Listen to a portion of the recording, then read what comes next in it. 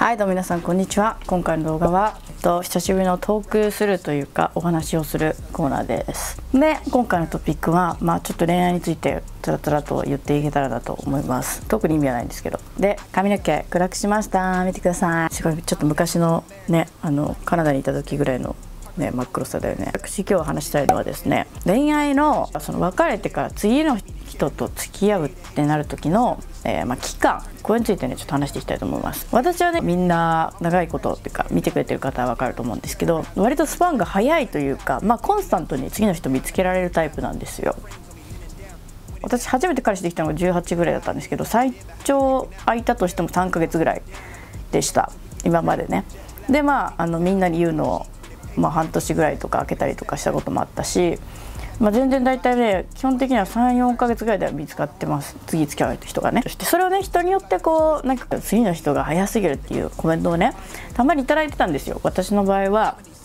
結構最初の方から頂いてて私も彼氏のこと何人公表したかな？34人公表しててあその次の彼氏作るの早いとか結構言われたことあるんですね。でそれはまあ別にあの別にいいとしてよくはないけどその価値観はね人によって違うからさておきなんだろう？何をちょっと皆さん言いたいかっていうと早いって何？え次の人付き合うの早い遅いとかあるの？と思って。あの例えばね次の日に付き合う別れて次の日に付き合ってるとかそれはもう別れる前から次の人ができてるとかだったら指摘されるの分かる。お前絶対前々から見つけてたやんみたいな。っていうのは分かるんですけどなんか別に3ヶ月とかまあ言うて7ヶ月とか、まあ、1年、まあ、1ヶ月とかでも全然見つかる人見つかると思うんで1ヶ月とかでもいいとして別に良くないっていう価値観なんですね私は。私みたいなインフルエンサーみたいな人が例えば別れましたって言って3ヶ月後とかに、まあ、4ヶ月7ヶ月とかで彼氏を公表します付き合ってる人がいますと。でそれに対してなんかこうあなんかえなんか早くねみたいな。え恋愛体質なんだねとかいうコメントをよく見るんですよ。私だけではなくこういろんな人にねが付き合ってる人に対して結構よく見てて早くねとはと思って。早くねって早くなくないっていう感じなんですよ。私生きてるうちで3ヶ月ってめちゃめちゃ長いと思ってるし3ヶ月あれば結構勉強もできる上に誰となんかいろんなねとこに行ったりとか人に出会うことってめちゃめちゃできるのよ。3ヶ月とかまあ4ヶ月とか5ヶ月とか何でもいいけど1ヶ月とかあれば。全然1週間でなんならもう人と出会うことなんてできるし1日で別に何個もねパーティー行ったりとかして人に出会うことはできるわけ。だから、うん、早くねって言ってる人たちは自分が動いてない人たちだと思うのね。でそれでなんか自分の価値観的に早くねって言ってる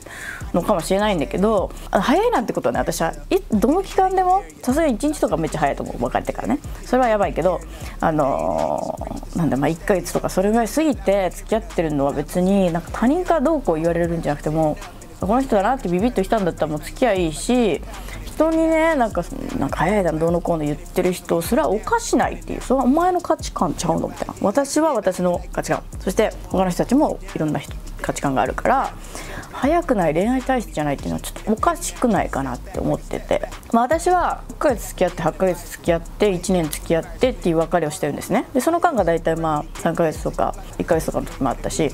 今の人と私も今年で3年目なるじゃないですか。だからこう大きな恋愛を23回やってやっと4人目でこう落ち着いてきたっていう感じなので、ま全然、ね、最初に落ち着ける人は落ち着いていいんですけど、ね、私のタイプではこういろんな人と付き合ってもうどういう人がクソとか。まあなんかこういう人がこうだっていう経験がね積めたんですよ自分の恋愛ではだから私は結構恋愛に対してはいろんな人と付き合ってみるべきというか、まあ、いい人だなってことは付き合って人間関係築いていくのも学びだなと思ってるタイプなんですけど一部なんかこう長く続ければ続けるほどいいみたいな思ってる人。で1人とだけ付き合うのがいいみたいな人がいるんですよ結構。長く付き合うのは別にいいと思う。それはね1人の人と関係長くとと取ればいいと思うんだけどあのそうじゃなくてダメだと思ったらスパッと切れるあの勇気も必要だしで付き合ってても長く長かろうが短かろうがねすぐ切れるっていうことができるの？おかしいと思ったら大事だと思うんでそれをなんか他人に「えもうちょっと付き合ってみなよ」とかあんまり交際期間が短すぎるからあの別れないとか人にどう思われるからまあじゃあまだ付き合うのやめようっていうのなんかもうおかしないと思ってて。というのもなんか私もやっぱこのこういう仕事をやってってて公表してるまあこっちもこっちなんだけどあのやっぱ言われるのよ。全然言われてたしなんかその早いだのなんか恋愛体質だしみたいななんかチャラいチャラい感じ？みたいななってたけどまあ若いうちってそういうもんなんじゃないかなって私は思ってるんですよ。じゃないと私は落ち着けなかった今まで。でやっと落ち着いてきたじゃん。4人目で。3年付き合って。ですごいめちゃめちゃいい人と出会ったしすごいなんか毎日すごい幸せな日々をね遅れてるじゃん。一緒に過ごして過ごせて。で結果私オーライなわけやん。大きな恋愛を23回やって結果オーライなわけやん。だから3ヶ月早いとか4ヶ月早い7ヶ月早い。1年でなんか別れて1年で作るの早い。おかしくない別にそれ人それぞれだしすごいね例えば別れて次の日にめちゃめちゃいい人と出会うってこともあるよ。全然。今の彼氏と出会ったのは。で別れて本当に1日後とかに出会ってまあ、デートとかして3ヶ月空いたのね。そのドイツ帰っちゃったりとかしたから。で3ヶ月後に付き合ったことになったけどあの出会ったの次の日だったし、うん、別れて。別れてすぐだからとか思わなくていいしそれはおかしいと思う。結果だって私は今落ち着いてるわけだから成功例があるわけじゃん私には。だからそれも間違ってないし逆に言うとその長くないって言ってる人は別に待てばいいしあの別れてからね。そんな人に言うんやったら自分は待てばいいし人それぞれのなんかペースがあるから全然、えー、全然いいなって思うのでなんかこう巷でねこうすぐ見つかっちゃった付き合っちゃったのが早すぎるって言われたことある方は気にしないでください。例えばねその前回クソ男で今回もクソ男のもう予兆が見えてるやつと付き合うとかね。だから明らかにこうもう付き合う前から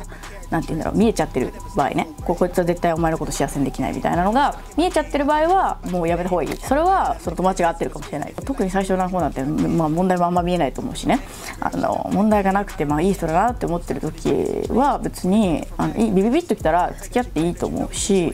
なんかそんなにねハードルを高くすることでもないかなと私は個人的に思います。経験することで学ぶタイプなので、まあ、見る目養えたりするタイプだったんでそう思ったんですけどなんかね、うん、地元のそういう何ヶ月で付き合うとか、うん、早くないとか遅くないとか彼氏まだいないんですかとか、えー、もうすぐできたんですかとか、うん、どうでもよくないと思って、うん、公表するのも勝手だし何を思うのかも勝手だけどただ人に対して言う時はやっぱちょっと気遣いというかデリカシーみたいなのがあるからこっちも別に勝手にシェアしてるのよ。それは分かってるんだけどあの、まあ、どんなインフルエンサーの人に対しても面と向かってその人が目の前にいる時に、まあ、ブスとかカスとか何でもいいしいいけど書けないなっていうかその言えないなって思うことはコメントには書かない方がいいです。それは常識的に考えて本心で分かってるはずじゃないですか。それ別に言わなくていいことだ。本人目の前にしたら言えないなって分かってるけどネットだから書けるってことでしょ、うん、それはなんかまあおかしいっていうか。まあやめた方がいいかなっていう感じです、まあ、やめない人もいるし全然気づかない人も全然いるんだけどただ私的にはそう思いました。なんか私はね最近そういうこと言われることはない。今年で3年目に入るからなんかそういうこと言われることもないんだけど今の人と付き合ってて。あの長いからねもう結構。だからなんかいるかみんななんか早いとか言ってたやつみたいな今めっちゃ続いてるぞみたいな感じだから全然いいのね。あのだけどなんかそのたまにねそのインフルエンサー界隈でなんか付き合ってる人を公表してなんか早くないみたいなこと言われてる人がたまにっていうか、ね、まあまあまあまあ見受けられるんですよ。恋愛対象だなとかだからみんなも、うん、周囲の人になんか早すぎじゃないとかなんか長すぎじゃないとか言言われる方は別にその自分のペースなので付き合いたいと思えば付き合えばいいしもうこの人この人って思ったらもう付き合っちゃえばいいしダメだダメだと思ったら早く切ればいい。毎回ね恋愛するたびに学習するっていうのが大事なのでもう二度と同じようなもねミスをね繰り返さないようにね私なんか23回やりましたけどもそれがあって学んでいくのが大事だから恐れずにこう自分を持って、うん、ダメなものはダメといいものはいいと伝えていくこの精神がね大事だから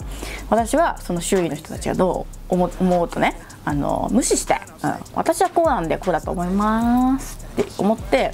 あの皆さんもね恋愛の人生を謳歌していってほしいなって思います。なのであんまりハードル上げすぎないっていうのも大事だと思いますよ。この人はこうだからやめようかなって